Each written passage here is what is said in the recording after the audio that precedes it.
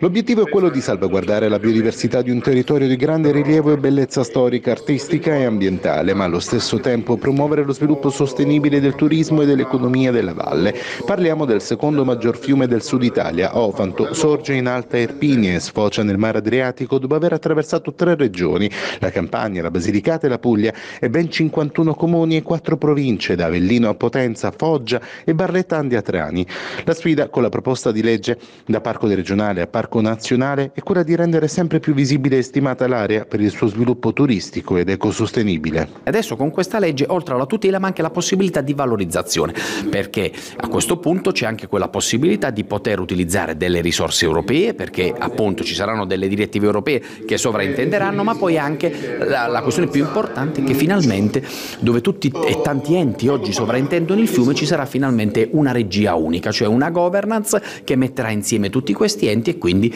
anche la tutela stessa, lo sviluppo del fiume Ofanto possono essere oggi e diventare una realtà.